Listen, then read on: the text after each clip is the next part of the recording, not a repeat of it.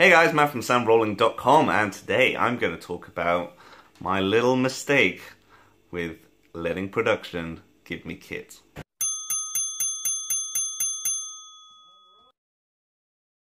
So, you've just seen the picture and essentially they wanted me to use a boom pole that was gaffer tapes.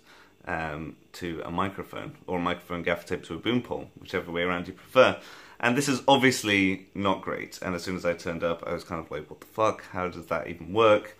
Uh, it didn't help that I'd already done a night shoot the day before, um, left all my kit at home, and thought this would be nice. Someone's going to just provide kit. But I was wrong.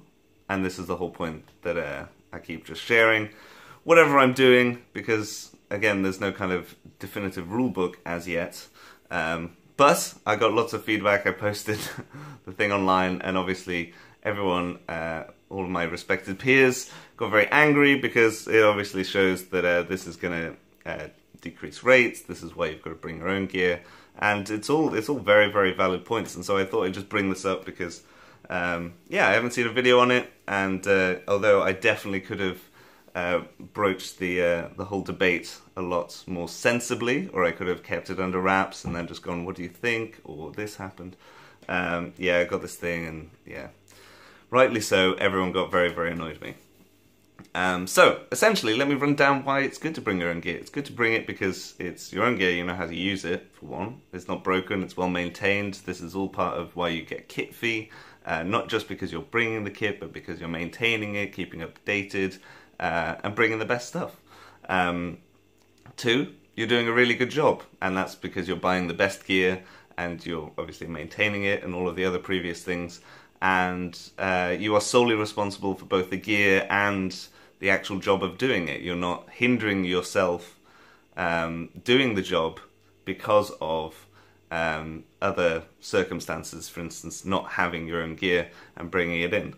Um, and third, uh, yeah, you're just gonna because you're gonna get better results. Um, you're gonna be uh, looked upon better as um, as a professional doing a doing a service, and that can't be achieved if you're already being kind of shot in the foot by being given something subpar uh, that was expected to be a lot more. Um, so let's see. I had I did have some other stuff on this. I'm still like catching. I guess this comes down to if you don't have enough decent kit already that you need to you need to rent in.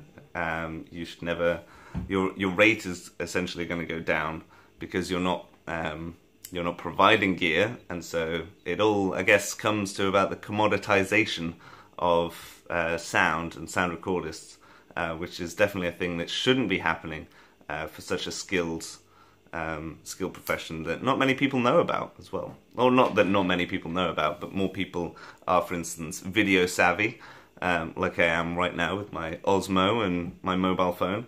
Uh, but even that to uh, camera people is obviously looked upon as, as bad, but it is a commoditization in some sense.